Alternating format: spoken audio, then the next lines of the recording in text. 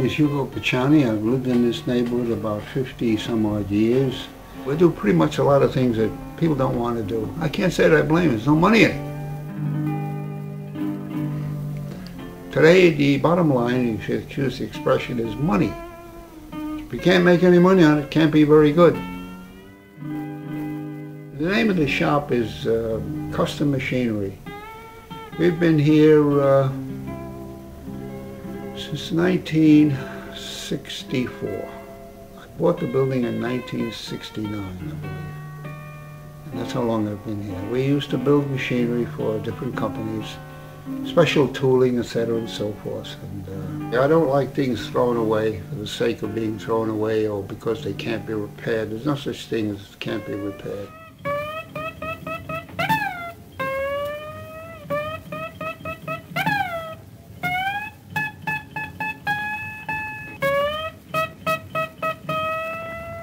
You got to make a dent in this world. You got to do something. You got to leave something behind. And if I could leave a few bucks behind, and if I could save one tree, and if I could uh, donate money to save animals, uh, I do it. I'm selling off a lot of my old collection. That will all go to uh, different uh, organizations that I know. And uh, that, that's about it. There's not much uh, beyond that. At age 81, I can't expect too much. But people love me. People ring the bell every day and ask how I am.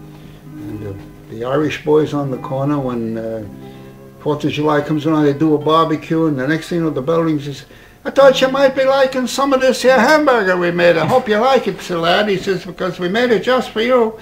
And I love that. I love when people are concerned. That's what it's all about. Future, tomorrow.